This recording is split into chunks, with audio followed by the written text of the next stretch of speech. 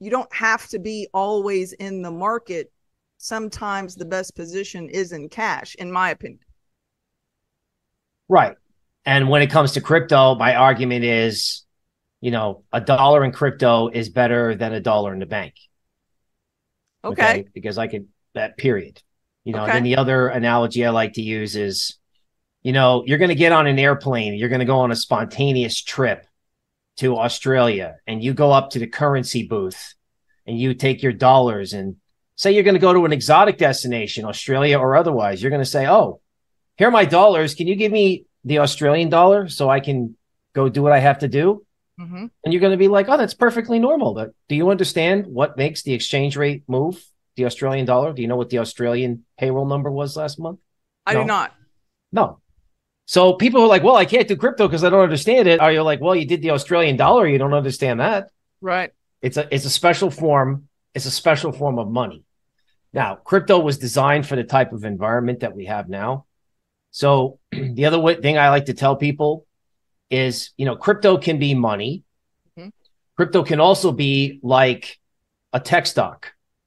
So you know how in stocks, you know, you have to take your dollars, buy your QQQ, and then one day when you sell it, you sell your QQQ, you get your dollars in 2 days and then you go shopping.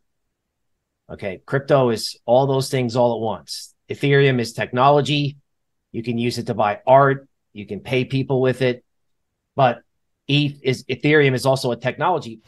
That crypto right now, let's just say Bitcoin.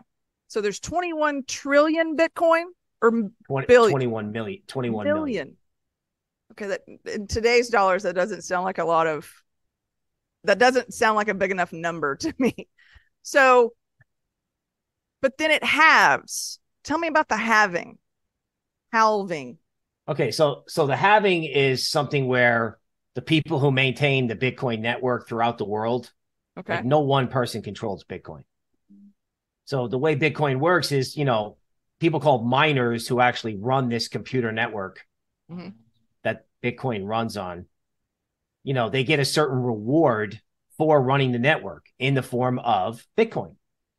Okay, well, every four years, the way Bitcoin was programmed is that every four years, the amount of Bitcoin that they get for what they do drops in half.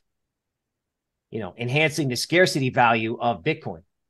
Right. There are more millionaires in the United States than Bitcoin that exists. That was like the big stat in 2018. Okay. Right. So, okay. you know, Bitcoin is what I would call a scarce digital asset.